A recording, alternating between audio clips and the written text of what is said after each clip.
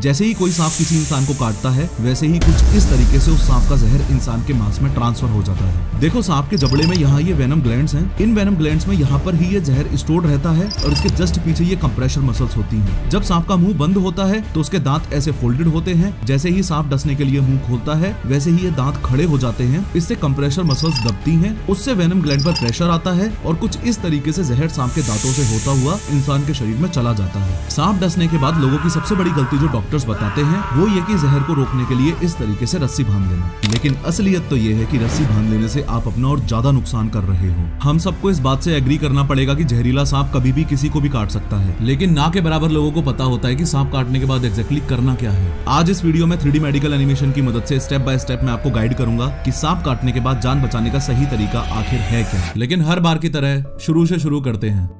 आगे बढ़ने से पहले I would like to tell you about an amazing offer from Geeks for Geeks increasing artificial intelligence की wave को देखते हुए सबने बस ऊपर ऊपर से सुन लिया है कि कोडिंग सीखो कोडिंग ही फ्यूचर है। लेकिन ना के बराबर लोगों को ही पता है कि कोडिंग फ़ील्ड में इंपॉर्टेंट स्किल्स सीखने का सही तरीका आखिर है क्या। ऐसे में गीक्स फॉर गीक्स ने लॉन्च किया है एक beginner friendly course coding for everyone in case आप कोडिंग बैकग्राउंड से नहीं भी हो तो भी ये कोर्स आपको कोडिंग बेसिक्स वेब डेवलपमेंट और डेटा साइंस स्किल्स एनहेंस करने में हेल्प करेगा। मोस्ट अमेजिंग पार्ट है इसका अनबिलीवेबल डिस्काउंट जो आपको मेरे कूपन कोड पीओएच वन पर मिलेगा और ये कोड सिर्फ़ 100 स्टूडेंट्स के लिए ही एप्लीकेबल है। इसके अलावा एक और गुड न्यूज़ ये है कि गीक्स फॉर गिग्स में अभी 390 चैलेंज चल रहा है। इस चैलेंज में अगर आप गिग्स फॉर गिग्स के किसी भी कोर्स में एडमिशन लेने के बाद 90 डेज़ में 90 परसेंट तक फिनिश कर लेते हो तो गिग्स फॉर गिग्स आपको उस कोर्स की एडमिशन फ़ीस का 90 परसेंट रिफंड कर देगा। अच्छी बात यह है की ये 390 चैलेंज गिग्स फॉर गिग्स के सभी कोर्सेज पर अवेलेबल है including DSA web development app development DevOps etcetera practically देखा जाए तो 390 चैलेंज एक काफ़ी सही टेक्निक है, जो आपको सिर्फ़ 90 डेज़ में एक न्यू स्किल सीखने के लिए पुश करती है। अभी की अभी डिस्क्रिप्शन में दी गई लिंक्स को यूज़ करके गिग्स फॉर गिग्स पर रजिस्टर करो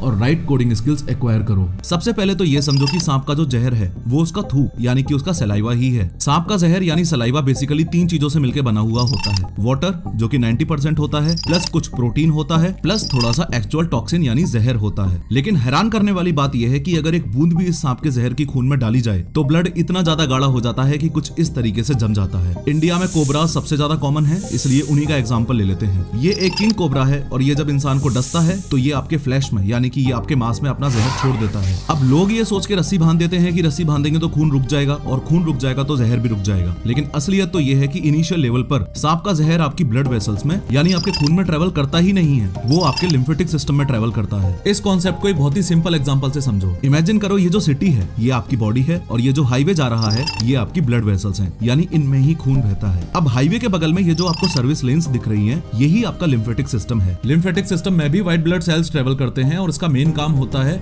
आपकी सिटी को, यानी कि आपकी बॉडी को क्लीन करना। चौंकाने वाली बात यह है कि इनिशियली सांप का जहर भी इन सर्विस लेन्स में ही, यानी इस लिम्फेटिक सिस्टम में ही ट्रेवल करता है, आपके हाईवे पे नहीं, यानी आपके ब्लड वेसल्स में नहीं। इसलिए सांप काटने के बाद जैसे ही आपने रस्सी बांधी, वैसे ही आपने सिर्फ़ हाईवे पर बैरिकेड लगाया है। सर्विस लेन्स अभी भी खुली पड़ी है और जहर उनके थ्रू आपकी बॉडी में ट्रेवल ऑलरेडी कर चुका है। इसलिए रस्सी बांधने से आपका नुकसान कुछ ऐसे होगा कि हाथ के उतने हिस्से में। पहले तो ऐसा एडिमा डेवलप हो जाएगा, फिर ऐसे ब्लिस्टर्स पड़ जाएँगे और हाथ नीला पड़ जाएगा और सबसे लास्ट में कंपार्टमेंट सिंड्रोम की नौबत आ जाएगी। यानी मसल्स पर इतना प्रेशर डेवलप हो जाएगा कि वो वहाँ से फट जाएँगी। सौ बात की एक बात यह है कि सांप काटने के बाद अगर आपने रस्सी बांधी तो जहर तो शरीर में वैसे ही फैला, ऊपर से हाथ काटना पड़ेगा वो अलग। साथ ही ये बात भी याद रखो की ये इनिशियल स्टेज थी, वरना ऐसे तो सर्विस लेन्स लास्ट में जाके हाईवे में ही मिल जाती है। हाँ बॉडी में भी। सांप काटने के बाद जान बचाने के लिए अगर सबसे घटिया हरकत कोई की जा सकती है तो वो ये है।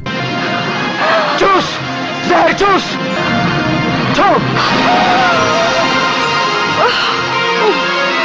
भाई जहर चूसना नहीं होता। ऐसा करने से एक नहीं। दोनों ही मरेंगे। खैर मॉडर्न मेडिकल साइंस का मानना है कि सांप के काटते ही सांप से दूर होने के बाद सबसे पहली कोशिश आपकी ये होनी चाहिए कि परेशान नहीं होना है, शांत रहना है। मैं समझ सकता हूँ कि उस समय शांत रहना असंभव है, इसलिए आपको बता रहा हूँ कि दुनिया में सिर्फ़ 30 परसेंट सांप ही जहरीले होते हैं। 70 परसेंट तो नॉर्मल सांप ही है, और जो 30 परसेंट जहरीले हैं, उसमें से भी 50 परसेंट चांसेस है की सांप ने जहर इंजेक्ट किया ही नहीं। जस्ट आपको डराने के लिए उसने ड्राई बाइट किया था। मॉडर्न मेडिकल साइंस ये भी कहती है की जहाँ सांप ने आपको काटा, उस लिम्ब को बिल्कुल भी मूव नहीं करना है, क्यूँकी जितना ज़्यादा मूवमेंट करेंगे पूरी बॉडी में वेनम उतनी ही ज़्यादा तेज़ी से फैल जाएगा। डॉक्टर्स का मानना है कि उस एरिया से ज्वेलरी और टाइट क्लॉथिंग भी टोटली रिमूव कर देनी चाहिए। स्ट्रिक्ट गाइडलाइंस ये भी है कि सांप काटने के बाद किसी भी सपेरे या तांत्रिक के पास बिल्कुल नहीं जाना है। सांप के जहर से बचाने के लिए दो रियली इंपॉर्टेंट बातें ये हैं कि या तो आपके पास या जिस भी पर्सन को आपने हेल्प के लिए बुलाया है उसके पास सांप की फ़ोटो या डिस्क्रिप्शन होना बहुत ज़रूरी है और सांप ने कितने बजे आपको काटा, ये बात पता होना भी बहुत ज़रूरी है। इनफैक्ट गाइडलाइंस तो ये भी कहती है कि सांप के काटने के बाद जैसे ही आप घाव धोके उस पर बैंडेज लगाते हो तो उसके ऊपर ही सांप के काटने का अप्रोक्स टाइम भी लिख देना है। ऐसा इसलिए बोला जाता है कि हॉस्पिटल पहुँचते पहुँचते अगर पेशेंट बेहोश हो भी गया तो भी डॉक्टर को तो सही डिटेल बैंडेज पर दिख ही जाएगी। और सांप की फ़ोटो खींच के रखने वाली बात के पीछे लॉजिक ये है की एंटी बेसिकली दो प्रकार के होते हैं मोनोवेलेंट और पॉलीवेलेंट आगे बढ़ने से पहले एक बात ये भी अच्छे से समझ लो कि सामने टेबल पर रखे हुए ये जो एंटी